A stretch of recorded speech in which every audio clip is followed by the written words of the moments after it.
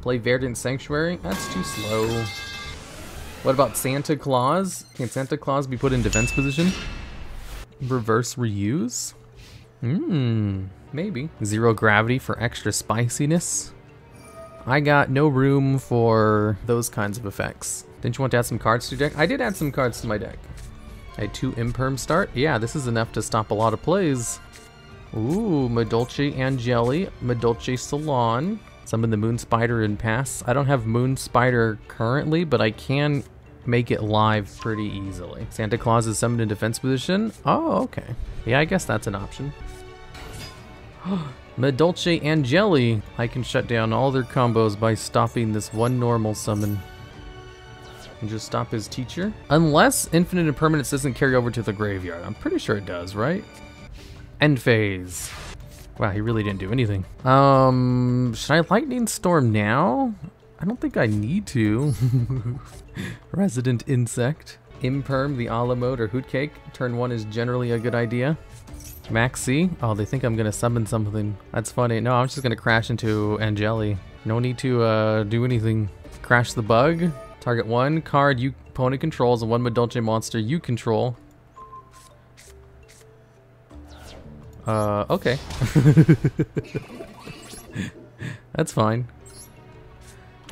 I learned my lesson. I'm gonna set infinite impermanence this time. Hear me out. Level limit area B. Mm, nah, I don't know. I'd rather just play. Here, I'll let them use Anjelly this time. I'm a, a generous god. How do you make that evil laugh? I just try very hard. Imperm the Puddingcess. I can just imperm this to stop all their plays. Without Hootcake, they can't go into any other cards. They're stopped for the whole turn. And now if they activate a card in the middle monster zone, they're ham-boned. What about lose one turn in this deck? I was playing lose one turn before. Okay, I can use this to search out, let's see, which one do I have in my hand? Gandora? Okay, we'll get Kumongous, the sticky string kaiju. A generous streamer? Exactly. You know, I was playing lose one turn, but it wasn't like performing as well as I wanted it to. Okay, so first I'll go into Kumongous. I don't really need to, but I'm going to. Then I'll activate Giant Ballpark, and then I'll go into Gandora, and then Resident Insect, and then I'll beat him over with a whole bunch of big damage. Oh, I probably should have used it there. Resident Insect, I'm going to negate my 1000 damage, send Shiny Black Sea to the grave, then I can summon three copies of the card. And attack for what would have been game. No, I think he still would have had some life points left. Kumongous. Kumongous what?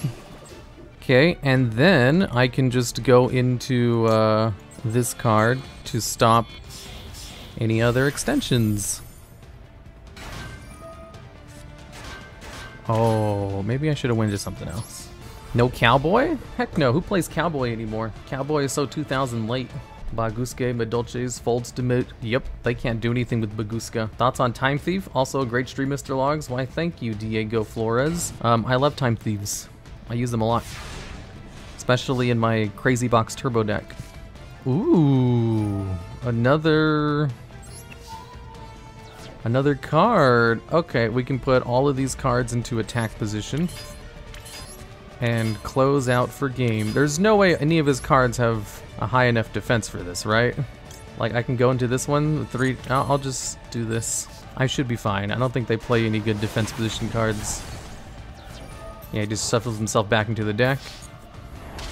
Mother Spider wins again. A Yu-Gi-Oh! Omega stream? Heck no. Yu-Gi-Oh! Master Duel or nothing. Unluckiest Madolche player? Yeah, probably. Should I play lose one turn? Lose one turn? Oh, come on. Oh, there it is. Wait, what was the other card you guys said?